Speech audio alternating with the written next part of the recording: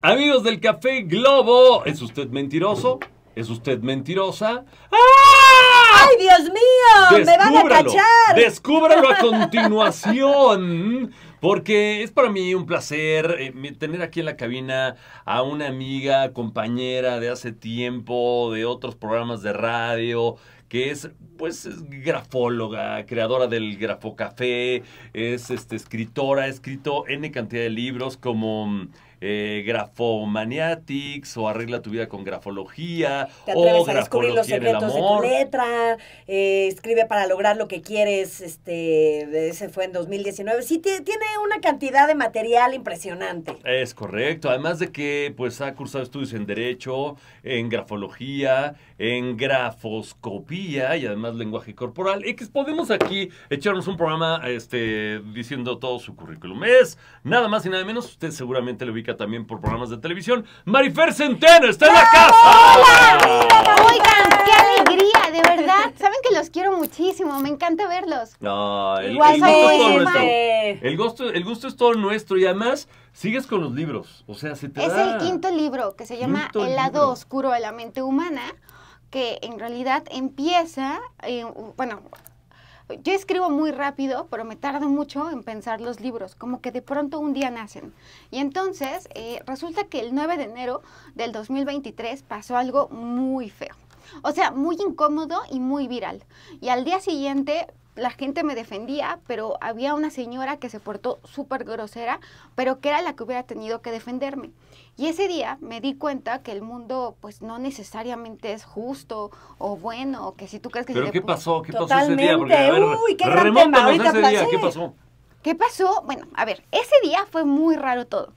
Rara vez me duelen los hombros y el cuello, y esa, ese día Ay, a mí me duelen los amanecí hombros y el con, todo hombros. Bueno, actualmente sí me duele el hombro, pero por la bolsa Que cargo. ¿También te ha pasado? Sí, que está pesada. Es que Ajá. también la llenan de piedras, o sea, yo no sé qué tanto cargan, no, por pues favor. dos celulares. Porque ahora ya eres dealer, además de escritora, o por qué traes dos celulares? No, ¿O porque... tienes un amante, acaso? No, ni Dios lo quiera, jamás. Nunca. A mí no me ¿Por pueden qué traes reprochar dos, dos nada. celulares? ¿Por qué traigo dos celulares? Ah, porque uno tiene una cámara muy padre y el otro porque me gustan las fundas. Ah, ya- ya. Y luego se preguntan por qué pesa la bolsa. Tiene su propio toque, mi querida Marifer. Y, y traigo mi cartera, traigo mi tarjetero, traigo muchas cosas para limpiar las manos, traigo tres plumas de tres diferentes tipos, más un lapicero que era de mi papá cuando yo nací. Mm, ¿Para qué traes tres plumas? Solo necesitas una. No, porque qué tal si Vas a firmar un contrato y necesitas tinta negra. No. No, pero a mí me gustan las plumas. Ah, muy Y bien. libretitas. Oye, y pero me cosas. quedé yo picada. A Ah, ver, ¿qué fue lo que pasó? ¿qué fue Tienes lo que te hizo esta señora que no te defendió? Pues no tenía que defenderme, simplemente ser justa. A ver, la historia es así. e Isaac la conoce muy bien. Un 9 de enero yo me despierto, voy a hoy, voy a López Dóriga, me empieza a doler el hombro, me empieza a doler el cuello. Ese día fuimos a recoger un coche que se había comprado mi marido. De ahí me hablan para decirme que mi página de Facebook estaba castigada. Castigo que duró un año por una...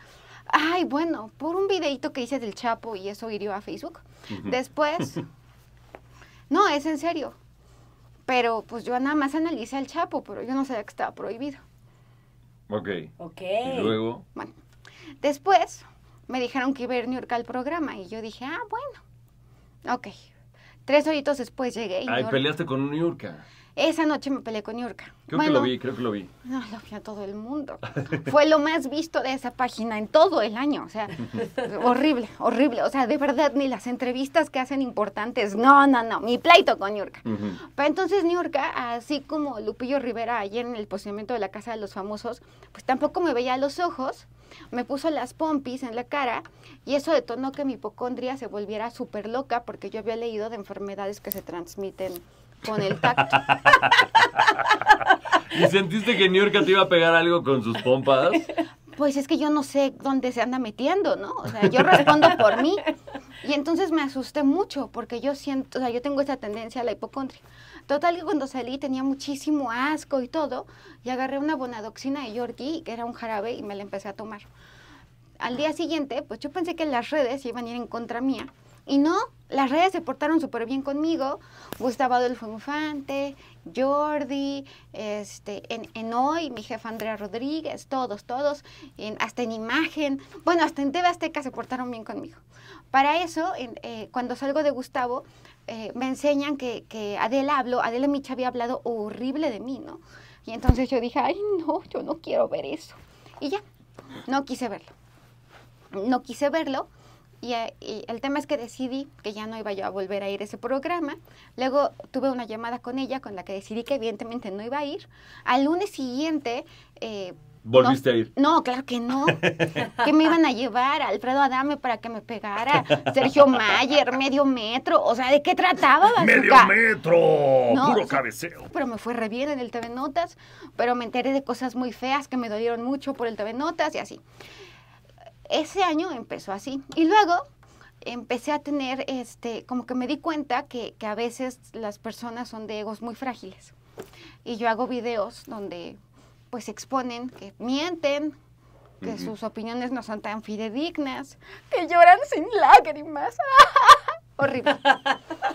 Pero yo no pude encontrar la lógica. Bueno, y tampoco tengo muchos filtros, tengo un cerebro raro y diferente y punto. A lo que sigue es que después muere Yorkie y ahí es cuando escribo el lado oscuro de la mente humana, que es psicopatía, maldad, envidia, eh, eh, pues todo lo que tiene que ver con, eh, co- con lo feo, ¿no? Desde Ted Bundy hasta Yolanda Saldívar, pero por supuesto que está Sergio Andrade y por supuesto que está eh, Mario Aburto y está Jeffrey Dahmer y está eh, Juana Barraza, están todos estos personajes que nos llaman la atención. Hay un capítulo dedicado a los dictadores que tienen en común las Wow. firmas de Vladimir Putin con eh, Fidel Castro y cómo es una personalidad eh, que, que puede llegar a, a imponer un régimen autoritario.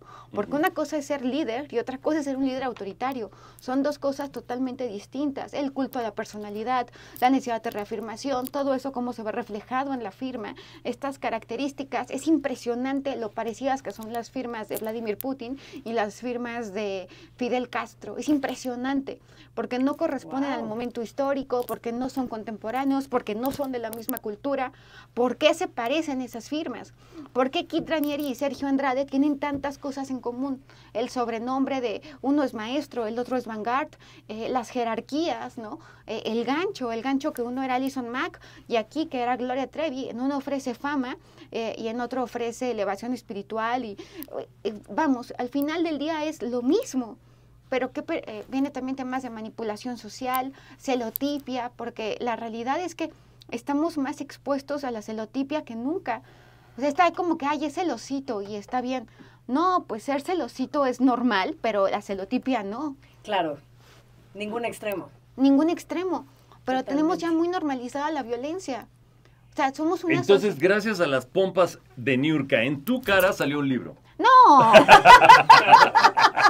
Pues así se entendió un poco. podría ser. No, en realidad, gracias a las tragedias que pasaron, a los comentarios, a, a que sentí que la gente me respaldó. Pero bueno, en realidad sí, de lo malo sale algo bueno, porque estamos en primer lugar de ventas. Está el Colegio Mexicano de Grafología, que es el colegio de grafología más grande del mundo. No, es que ya has hecho muchas cosas, haces muchas Los cosas. dos Eres muy Y además está, además está en redes todo el tiempo, en Sí. TikTok y Reels y todo, analizando la nota del momento, ¿no? Que si Ah, La del día. que la del día, momento, sí. la del Sí, sí, día. que o se agarraron a Fofa, está mintiendo, no está mintiendo, no sé qué, shalala. Bueno, es que Fofo fue detenido y traía una sonrisa de oreja a oreja que luego ya pues se le quitó porque estuvo llorando y Sí, sí, sí, sí, suplicó perdón y clemencia y todo, pero bueno, pues debido a- a- al, al- al delito, pues no, no, pues, no se otorga el perdón. Lo que yo creo que va a pasar es que se va a reclasificar ese delito para que pueda salir. ¿No ha salido? Según yo ya había salido, ¿no? No, no sé si al día de hoy no ha salido. Bueno, muy De- bien. de Oye, ¿y cómo podemos, o sea, nosotros los mortales que no estudiamos grafología, ni derecho, ni nada, ¿cómo podemos detectar a alguien que es mentiroso con su escritura? Uy, eso es muy interesante porque todos mentimos. Pero mentimos diferente. La mentira Sí, tiene en sí mentimos. mismo, eh, pues es, es- eh, Es- un- es- estaba leyendo, no sé dónde lo leí o lo vi, que creo que decimos cierta cantidad de mentiras al día, como 100 mentiras o 90 De mentiras. 20 a 200 mentiras De- al de día. 20 a 200 mentiras. Pero habrá 20 a gente que diga 200, más. Wow. Se supone que es el saludo, si no te sientes bien y dices, oh, muy bien, muchas gracias, tú. Y estás, pero bueno, es una mentira que es necesaria para sobrevivir. Para Es un mal hábito, ¿no? Decir, para ¿cómo estás bien? ¿no? Es como, ya, ni, ni me pregunto, o sea, bien, ni me interesa explicarte, ¿no? Pero aparte es válido, ¿no? O sea, que la gente no tiene la culpa de lo mal que la puedas estar pasando. Claro. ¿no? Y, y creo que tienes el derecho a la privacidad, ¿no? Sí, o sea, si sí, yo sí. te quiero contar por qué estoy mal, triste y preocupada, es diferente. Ok, eso con a lo mejor compañeros de trabajo o, o gente, Gente pues, más no cercana. Muy, cercana, pero con así tu novio, tu novia, tu papá, tu mamá, tus hermanos, ¿cómo te das cuenta? Hay que buscar que la congruencia y la incongruencia. ¿Cómo, Marifer? Por, ejemplo, Ilumina. que lo que yo te diga, ay, Dios te oiga. Ilumínanos. Yo soy la oscuridad, bazooka. No. ¡Cero! ¡Cero! No, pues e- e- es, es muy interesante, pero el lenguaje corporal se basa en congruencia e incongruencia, en agrupar gestos y conocer personalidad. La grafología te sirve para conocer la personalidad. Cuando mentimos, escribimos diferente porque el estímulo es distinto que cuando estamos diciendo la verdad. De hecho, eh, cuando tú escribes, por ejemplo, a ver, Bazooka, escribe, yo nunca he sido infiel. Santo Dios, no. Pero así, yo nunca Ya he te infiel. cacharon, ya te cacharon.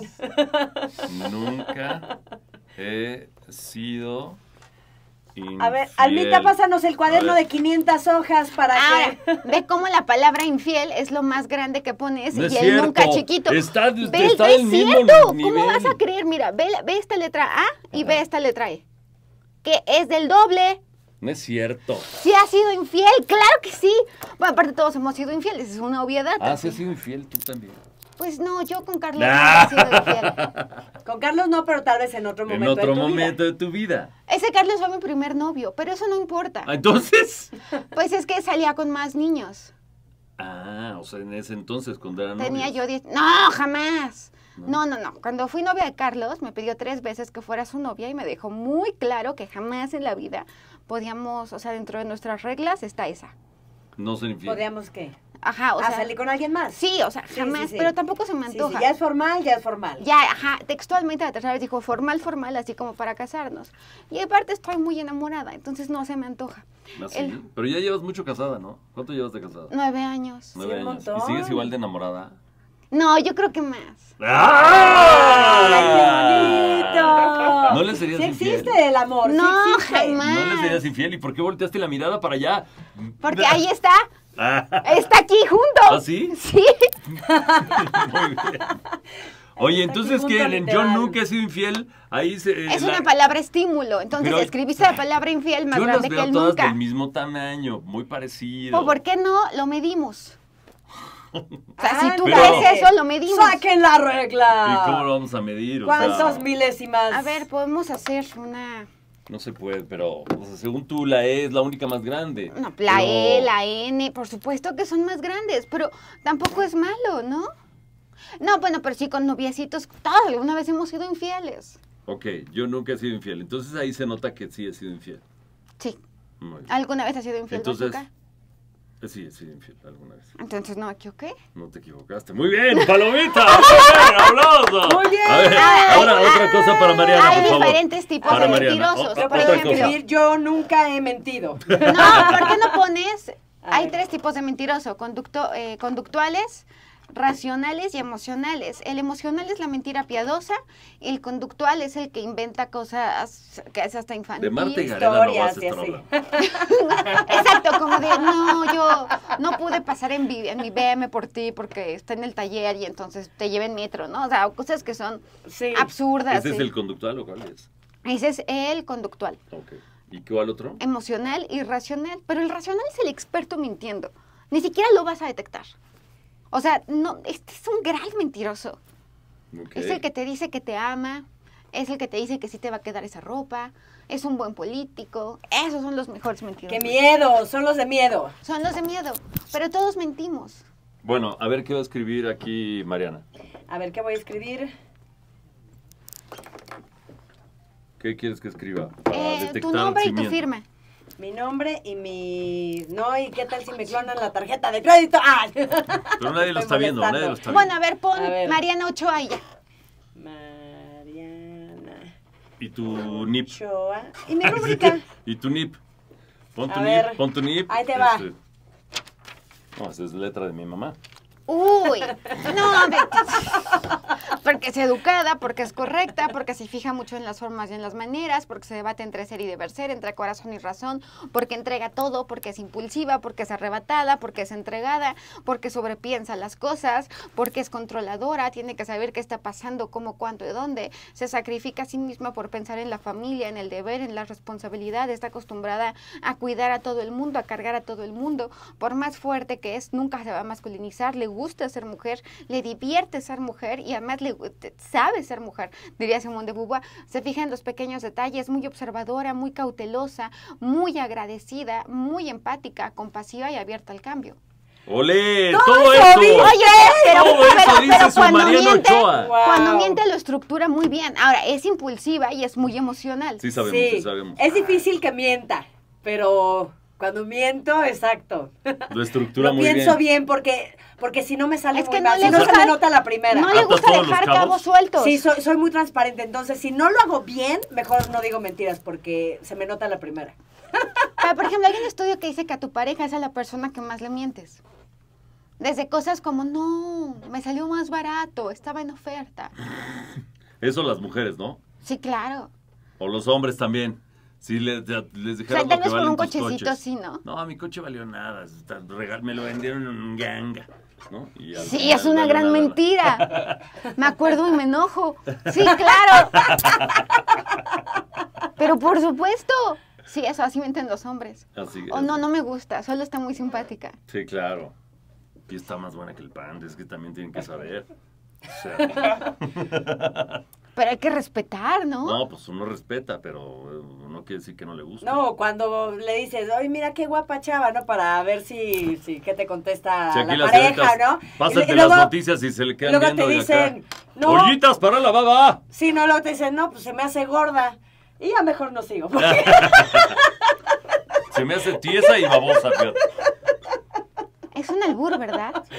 ¡Ay, qué horror! Me encanta, Pero algunos me encanta. contestan Ima- así. Imagínate que estábamos con, o sea, pura vulgaridad y siempre se hacía la ingenua. No se hace. Es la palabra, es la palabra Mira. Es. mi marido sufre Es mucho inocente. porque me tardo en entender los memes. Entonces me los tiene que explicar y ya con eso ya. ¡Ay, qué horror! O sea, no puede ser que no leas un meme y que de Mariano Ochoa dijeras todo eso. Nada Porque soy, letra. soy muy rara, de verdad. Hay que reconocer Tiene que un soy, tengo un cerebro raro y ya. Muy bien, O sea, hay Marifer. cosas de las que tú te das cuenta y yo no me doy cuenta. Oye, Marifer, ¿y sigues con los cursos de grafología? O sea, Sí. yo, yo tal vez no me quiero hacer un una perito en grafología porque no, pero sí me gustaría de repente con la letra de la gente saber Exacto. si es Pues bien que me manden un intencionada, WhatsApp. No, danos cinco tips para reconocer Un a un mentiroso. Sí, cinco Ok, tips. un- eh, con una depende qué letra. tipo de ¿Cómo es- mentiroso, por ejemplo. ¿Cómo es la letra Un de un mentiroso? racional va a tener la A con colita de alacrán, o sea, una colita. Un mentiroso que es la mentira piadosa de, ay, te miento porque no tengo de otra, que es el mentiroso emocional, va a escribir muy paradito, muy vertical. Y la mentira conductual, pues va, a- va a escribir infantil. Es una escritura muy redondeada, más infantilona.